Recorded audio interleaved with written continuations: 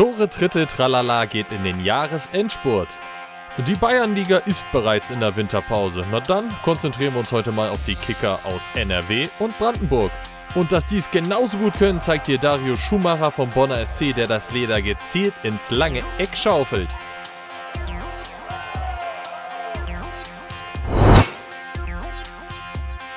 Aber auch der Ex-Erstligist KFC Uerdingen weiß, wie es geht. Lukas Musculus, heißt der wirklich Muskel? Setzt genau diese richtig ein und bringt den Ball mit der Hacke über die Linie. Hässlich wie das Wetter leider diese Aktion. Adis Omer Basic packt die Sense aus und hat Glück, dafür nur Geld zu kriegen. Na, hoffentlich hat das nicht der Nikolaus gesehen.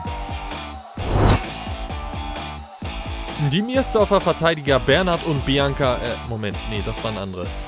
Äh, Bernhard und Isaka retten mit der Doppelgrätsche. Ein Glück für den bereits vernaschten Keeper Toni Erne.